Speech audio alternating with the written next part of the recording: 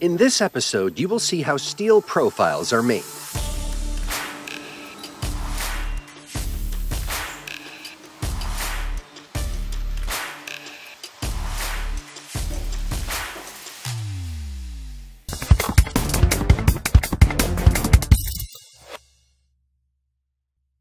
Steel profiles. They are the most commonly used structural and reinforcing framework in millions of different products. What does such a profile look like from a profile? Are they always the angles, channels, T-sections, or U-profiles we know so well? And how are they manufactured? To find out, we went on a visit to Wojkowice in the Silesian province, where the plant of Profil NR, a manufacturer of open, welded, special profiles and reinforcements for PVC windows, doors, and pipes is located. Ready? Let's get started. First, the tools for profiling parts are prepared in the design office. In doing so, it is necessary to determine how many forming stations will be able to produce a given profile, and thus adjust the appropriate production line.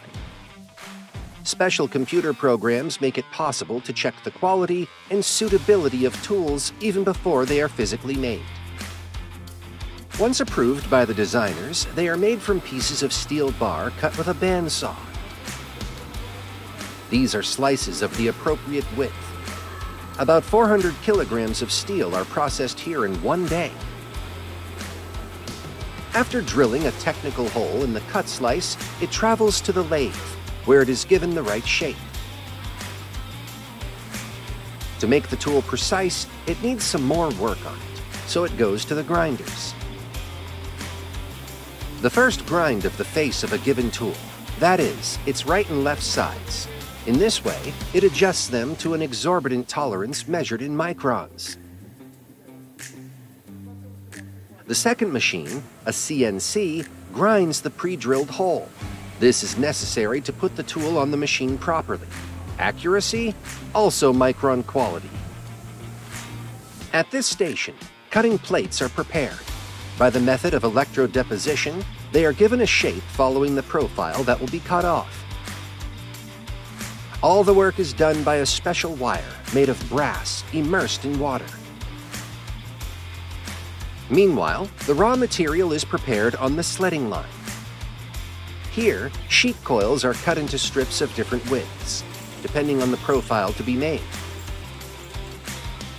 Sheet metal from 1 to 5 millimeters thick and coils weighing up to 30 tons can be cut here. The coils are first loaded onto a decoiler. Then the sheet is automatically dragged to a section of knives that cut it into strips. The line is additionally armed with a set of crosses that allow for automatic knife changes. The tape now travels to the coiler and then to the carousel. Up to 30 tons of tape can be hung on each arm of the carousel. With a slight dizziness, it goes to the profile forming line. At the Wojkowice plant, one of the profiling lines has 30 stations for forming sheet metal into the appropriate profile. Tools are used on them, which process was shown earlier. We see how a strip of sheet steel is put on a decoiler.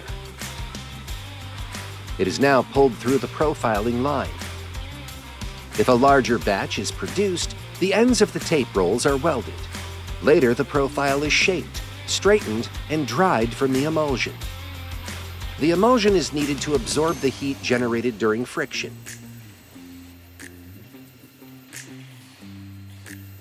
The last stage is guillotine cutting.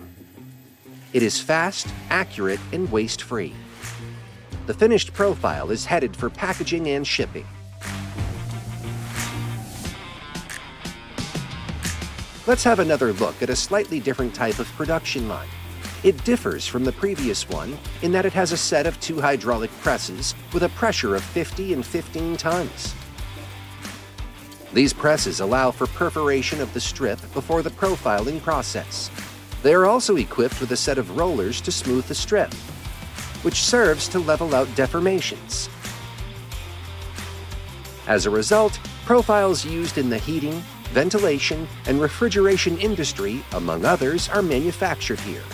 The profiles have the function of mounting rails for suspending various equipment. They are also used in sanitary systems. This is just one of the many products produced at Profil NR. More than 500 shapes of steel profiles are offered to customers here.